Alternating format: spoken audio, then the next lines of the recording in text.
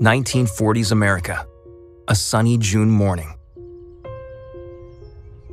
Villagers slowly gather in the town square. Parents make small talk while children make a pile of stones. This is no ordinary day. It is the day of the annual lottery. What's the history of this tradition?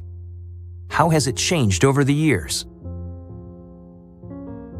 And what does it tell us about our darkest human impulses? Find out. Read Shirley Jackson's haunting short story, The Lottery.